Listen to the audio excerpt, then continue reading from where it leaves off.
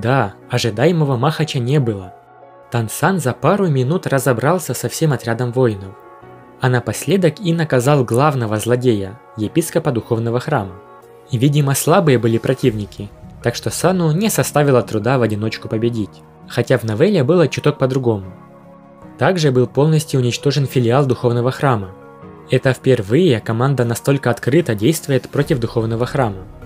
Все сокровища, якобы купленные епископом Майлсом, достались клану Тан, в том числе уникальная броня, сделанная Лоугао.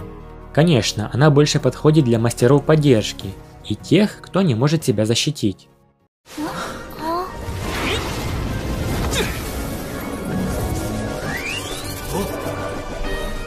А тем временем новый клан Тан был построен. На самом деле новые здания выглядят великолепно. Кому-то может показаться, что как-то слишком быстро был завершен такой сложный и роскошный дворец. Однако, согласно первоисточнику, путешествие в металлический город заняло не один месяц, поэтому у старейшины Нюгаа было достаточно времени.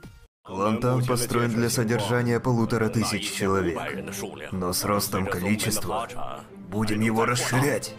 Тансан, как дальновидный и мудрый глава, дал всем старейшинам задания и указания насчет управления кланом и раскрыл некоторые личные подробности. Я думаю, с поддержкой таких союзников у клана Тан многообещающее будущее. Обстановка в столице стала все более напряженной, так как прибыло больше тысячи мастеров духовного храма. Это говорит о том, что в ближайшее время намечается что-то важное – и с юным принцем Небесной Империи не все так просто. Тансан. Приказываю приступить к исполнению нашего плана раньше срока. Вы только посмотрите, что было показано в анонсе. Явно произойдет серьезная стычка между силами Духовного Храма и Тансаном.